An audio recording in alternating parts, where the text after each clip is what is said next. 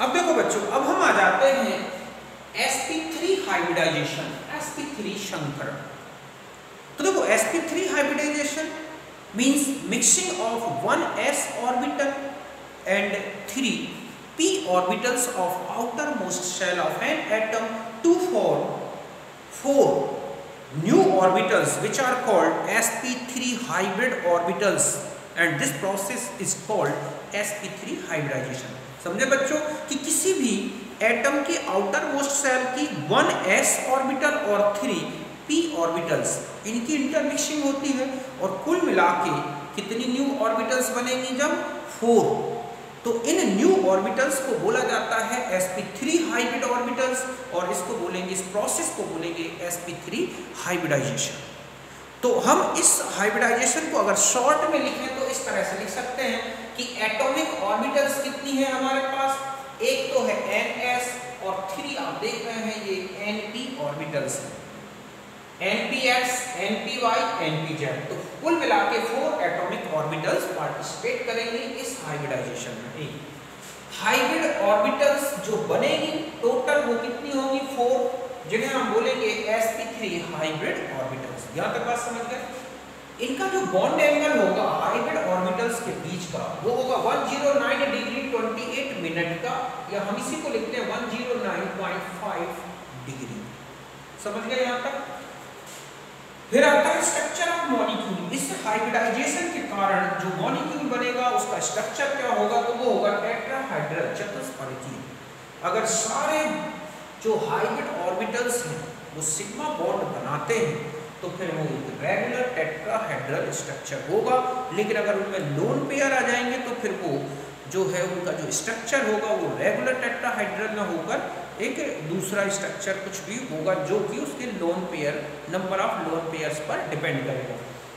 और इसके जो एग्जांपल्स हैं, जैसे CH4 है C2H6 है अमोनिया है H2O है HF है समझ गए ना? अमोनियम आयन है हाइड्रोनियम आयन है NH2 माइनस है CH3 माइनस है, इस तरह के कुछ जो है आइंस या मॉलिक्यूल्स आते हैं। तो पहले आप इतना नोट करें।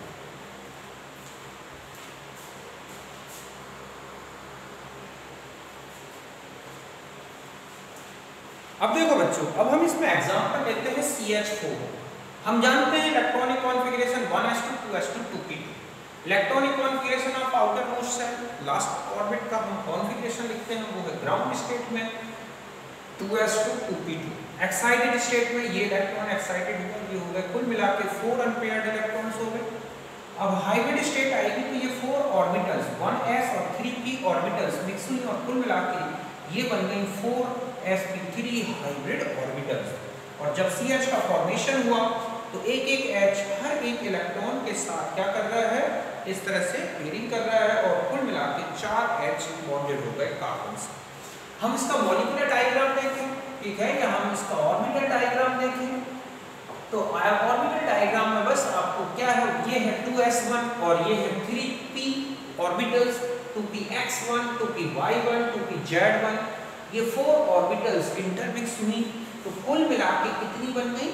Four sp3 hybrid orbitals one two three four okay ये इस तरह से ओरिएंटेड होती हैं स्पेस में कि इनके बीच का जो एंगल है, अगर मैं इनका स्ट्रक्चर इस तरह से आपको बताऊँ तो वो इस तरह से होगी। ये इस तरह से ओरिएंटेड होती हैं वन टू थ्री ये तो हो गई और एक ऐसा होगा। चाहे उसको ऐसा देखें, चाहे ऐसा देखें, चाहे ऐसा देखें, वो टेट्राहाइड्रल होगा और ये जो एंगल होगा ये कुल मिला के कितने का होगा? 109.5 डिग्री का। समझे बच्चों? तो इस तरह से जब इसका रेगुलर टेट्राहाइड्रल स्ट्रक्चर बनेगा तो इस तरह से ये फोर हाइब्रिड ऑर्बिटल्स हो गई। अब ये जो ऑर्बिटल्स हैं, ये हाइड्रोजन के साथ इस तरह से ये हाइड्रोजन यहाँ यहाँ यहाँ यहाँ। कुल मिला के ऐसे चार हाइड्रोजन बॉन्डेड हो गए। और ये जो स्ट्रक्चर बना, आप देख रहे हैं कि ये एक सिग्मा बॉन्ड है, ये है ये है ये है। और इन हाइब्रिड ऑर्बिटल्स के बीच का जो एंगल है, वो है 109.5 डिग्री और इस तरह से ये रेगुलर टेट्राहाइड्रल स्ट्रक्चर होगा क्योंकि तो इसमें सारे बॉन्ड्स एक से हैं इससे कि इसमें बिल्कुल रेगुलर टेट्राहाइड्रल स्ट्रक्चर होगा। तो यहाँ तक बात समझ गए होगी, आप इसे नोट करें।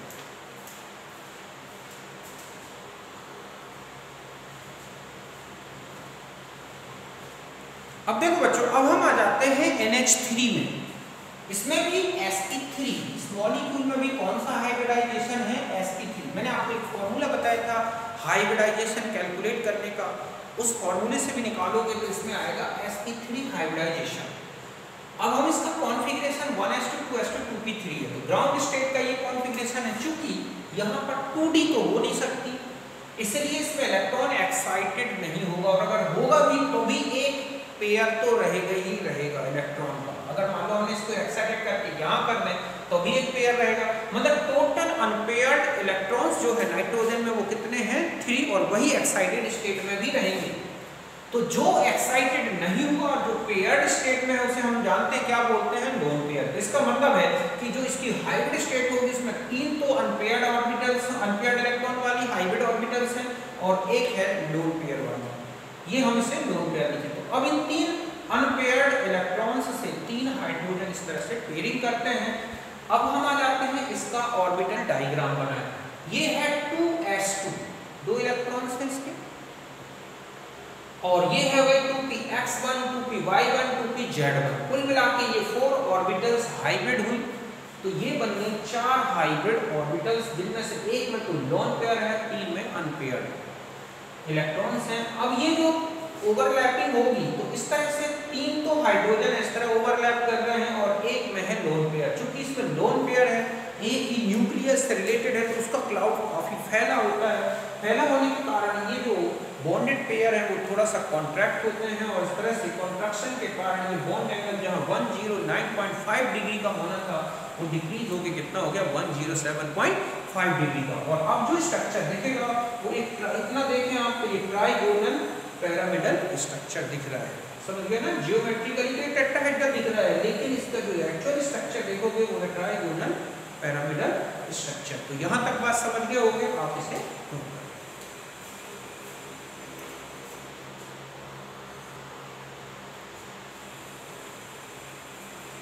अब देखो बच्चों, अब हम आ जाते हैं H2O में हाइब्रिडाइजेशन तो H2O का सेंट्रल एटम है oxygen 1s2 2s2 2p4 electronic configuration of outermost shell तो क्या हो जाएगा? ग्राउंड स्टेट में 2s2 2p4 अब चूँकि 2d तो होती नहीं तो इलेक्ट्रॉन एक्साइटेड नहीं होंगे। इसीलिए इसकी एक्साइटेड स्टेट भी यही रहेगी। कुल मिलाकर ये हाइब्रिड ऑर्बिटल्स बनाएँगे।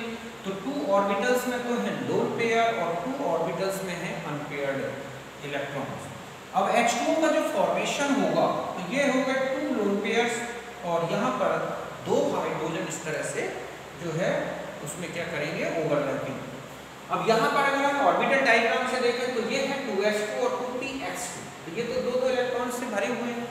ये दो ऑर्बिटल हैं, जिनमें एक एक अनपेयर्ड इलेक्ट्रॉन्स हैं। तो कुल मिला के फोर हाइब्रिड ऑर्बिटल्स बनेंगे, जिनमें दो में तो है लॉन पेयर और दो में क्या है? अनपेयर्ड इलेक्ट्रॉन्स इन्हीं अनपेयर्ड इलेक्ट्रॉन्स वाली ऑर्बिटल से हाइड्रोजन ओवरलैपिंग करेंगे तो इस तरह से यहाँ पर ये दो लोन पेयर्स हैं और बाकी ये दो क्या बन गए? बॉन्डेड पेयर अब यहाँ पर चूँकि दो दो लोन पेयर्स हो गए तो ये जो है और ज़्यादा हाइब्रिड बॉन्डेड पेयर्स को और क्या करेंगे? जो है दबाएँगे। तो ऐसे में ये एंगल और नीचे चला जाएगा 104.5 डिग्री का रह जाता है। और ये बी सेप देखेगा बी सेप इसी को बोलते हैं बेंट स्ट्रक्चर तो आप यहाँ तक समझ गए होंगे तो बस इतना याद रखना है बी सेप स्ट्रक्चर होता है समझ बच्चों बी जैसा दिख रहा है। तो यहाँ तक बात समझ गए, आप इसे नोट कर।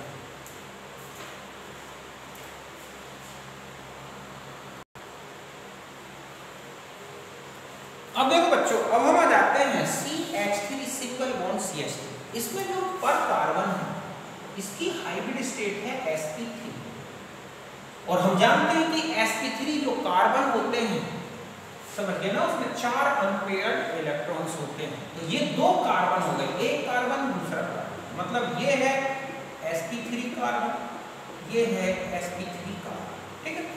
अब दो कार्बन में से जो हर एक कार्बन के थ्री ऑर्बिटल्स जो हाइब्रिड ऑर्बिटल्स है, वो तीन हाइड्रोजन से बॉन्डेड हो गए। ठीक यहाँ पर, ऐसा ही यहाँ पर। अब जो एक एक हाइब्रिड ऑर्बिटल बची, दोनों कार्बन की उनके बीच में यहाँ पर तो बन जाता है क्या? क्या सिग्मा बॉन्ड। मतलब ये वाला बॉन्ड ये है और वन टू थ्री ये है हर एक कार्बन तो अगर हम उसका ऑर्बिटल डायग्राम से देखें, समझ गए ना? ऑर्बिटल डायग्राम में ये कार्बन है, एक ये कार्बन ये चार इनकी क्या है? ये हर एक ये है sp3 हाइब्रिड ठीक है? ऑर्बिटल।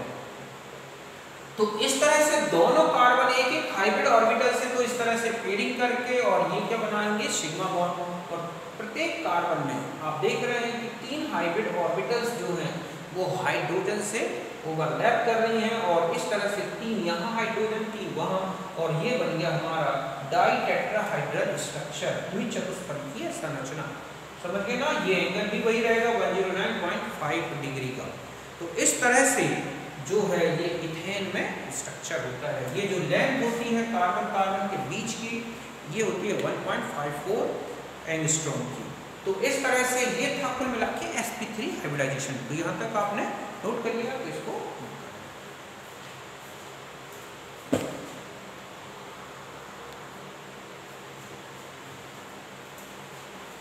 अब देखो बच्चों नेक्स्ट आते हैं हम sp3 हाइब्रिडाइजेशन sp3 हाइब्रिडाइजेशन का मतलब क्या हुआ? कि mixing of one s three p orbitals and one d orbitals ठीक है? D orbital of outermost shell of an atom तो टोटल मिला के कितनी एटॉमिक ऑर्बिटल्स पार्टिसिपेट हो रही हैं? ठीक है? पार्टिसिपेट कर रही है वन ये थ्री टू फोर और ये फाइव तो फाइव एटॉमिक ऑर्बिटल्स होंगी इसमें. हाइब्रिडाइजेशन में हाइब्रिड जो ऑर्बिटल्स बनेंगी, वो फाइव होंगी। क्यों? क्योंकि जितनी एटॉमिक ऑर्बिटल्स पार्टिसिपेट करेंगी, उतनी ही हाइब्रिड ऑर्बिटल्स बनेंगी। तो ये कहलाएँगी sp3 हाइब्रिड ऑर्बिटल्स समझ गए बच्चों? अब आते हैं बॉन्ड एंगल अगर बिल्कुल परफेक्ट कंडीशन है मतलब ये है कि फाइव सिग्मा बॉन्ड अगर है, ठीक है? और रेगुलर स्ट्रक्चर है तो उसमें जो एंगल दिखेंगे 120 डिग्री के तो आपको 3 दिखेंगे 180 का 1 दिखेगा और 90 डिग्री के 6 दिखेंगे। लेकिन अगर ये स्ट्रक्चर जो है सिग्मा बॉन्ड्स अगर कम होंगे और लोन पेयर्स बढ़ते हैं तो फिर अलग अलग बॉन्ड एंगल्स होंगे। लेकिन परफेक्ट स्ट्रक्चर जब कोई लोन पेयर ना हो, जैसे पीसीएल टाइप में आप देखोगे तो ये एंगल्स होंगे। जो स्ट्रक्चर ऑफ़ मॉलिक्यूल होगा, वो होगा ट्राइगोनल पैरामिडल स्ट्रक्चर जब फाइव सिग्मा बॉन्ड्स होंगे मतलब फाइव की फाइव हाइब्रिड ऑर्बिटल्स जो है सिग्मा बॉन्ड्स बनाती हैं। जब फोर सिग्मा बॉन्ड्स और एक लोन पेयर आएगा तो सीसाव स्ट्रक्चर होगा। जब थ्री बॉन्ड सिग्मा बनेंगे तो टी शेप होगा। और जब दो सिग्मा बॉन्ड्स होंगे तो लीनियर होगा। बाकी जितने सिग्मा बॉन्ड छोड़ दे तो उतने बाकी क्या बचेंगे? लोन पेयर्स एग्ज़ाम्पल है, जैसे PCl five P F five S F four I F three X C F two यहाँ पर आप देखोगे थ्री लोन पेयर्स होंगे यहाँ पर टू लोन पेयर्स होंगे यहाँ वन लोन पेयर होगा इनमें कोई लोन पेयर नहीं होगा। तो इस तरह से ये हम शॉर्ट में इसको समझते हैं। फिर हम इनके एग्जांपल्स लेते हैं। पहले आप इसको बनाएँ।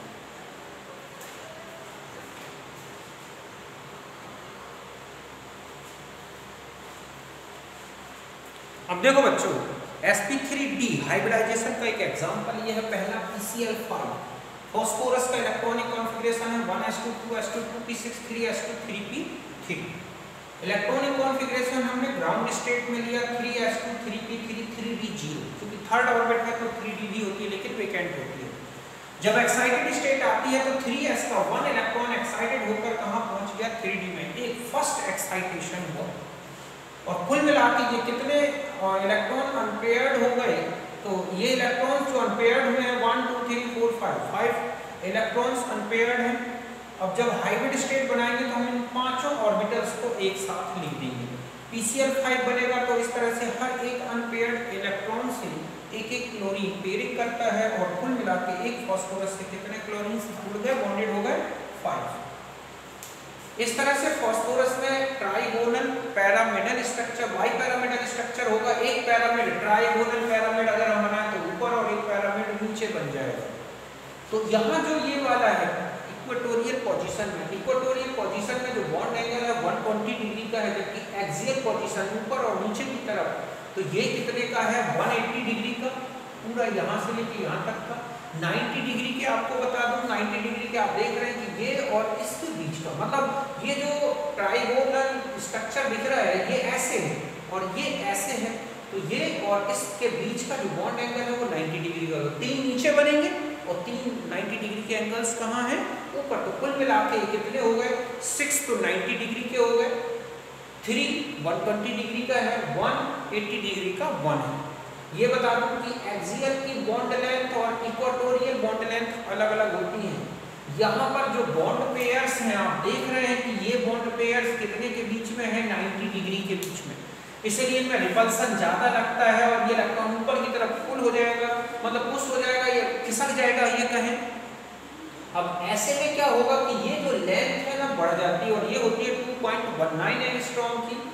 और जो ये वाला है, आप देख रहे हैं, ये 120 डिग्री में है तो रिपल्सन कम होता है, इसलिए ये जो इक्वाटोरियल पीसीएल बॉन्ड लेंथ है, वो होती है 2.04 जिसका मतलब थोड़ा सा इरेगुलरिटी तो होती है। वैसे हम इसको बेंट रूल में पढ़ेंगे और अच्छे से आगे की कौन सा पेयर कहाँ रहेगा लोन पेयर कहाँ पोजीशन रखेगा, हम उसके बारे में अलग से देखेंगे। तो यहाँ तक बात समझ गए, ये है ट्राइगोनल बाय पैरामिडल स्ट्रक्चर जब सारे बॉन्ड्स जो हैं बॉन्ड पेयर्स हैं इसमें, सारे सिग्मा बॉन्ड बनते हैं, पाँचों की पाँचों हाइब्रिड ऑर्बिटल्स के साथ। अब हम आते हैं SF4 में। SF4 का कॉन्फ़िगरेशन लास्ट में आएगा 3s2 3p4 तो इसका मतलब है कि ये है 3s2 3p4 और 3d0 तो इसका एक इलेक्ट्रॉन एक्साइटेड हुआ, केवल एक फ़र्स्ट एक्साइटेशन हुआ है, ये एक्साइटेशन नंबर फ़र्स्ट है। तो यहाँ से इलेक्ट्रॉन यहाँ पहुँच गया तो अब आप देख रहे हैं कि फोर तो अनपेयर्ड हो गए और एक लोन पेयर के फॉर्म में बचा हुआ है। ये फोर अनपेयर्ड इलेक्ट्रॉन जो हैं इलेक्ट्रॉन्स यही फोर फ्लोरीन के साथ पेयरिंग करेंगे और एक लोन पेयर रहेगा। ये लोन पेयर इस पोजीशन में इक्वेटोरियल पोजीशन में रखा है, क्योंकि ये यहाँ होने से इसके और इसके बीच में 120 डिग्री का एंगल बन रहा है, जो काफ़ी रिपल्सन कम होगा। और ऐसे में ये यहाँ ज़्यादा स्टेबल होगा। और इसका और भी रीजन और अच्छी तरह से अब हम समझेंगे और वो देखेंगे हम बेंट रूल में। समझ गए ना? तो यहाँ तक जो स्ट्रक्चर इसका बनता है, ये कहलाता है सी साव स्ट्रक्चर हिंदी में बोलते हैं डैकुली संरचना। मतलब बच्चों को ऐसा दिखेगा जैसे ये दो हैं और एक ये इस तरह से। जैसे बच्चों के झूलने का जो होता है, आप गार्डन में देखोगे एक डैकुली बनी होती है सी साव तो इस धर बड़ी इधर बैठ के इस तरह से चलते तो ये दो हो गए ऐसे और ये हो गया ऊपर नीचे। और इस तरह से लोन पेयर यहाँ पर आ जाता है। तो आप समझ गए? कि इस तरह का स्ट्रक्चर है। पीसीएल फाइव में जब कोई लोन पेयर नहीं है एक लोन पेयर आप इसे इस तरह का होगा। तो यहाँ तक समझ में हो गया, आप इनको नोट करें।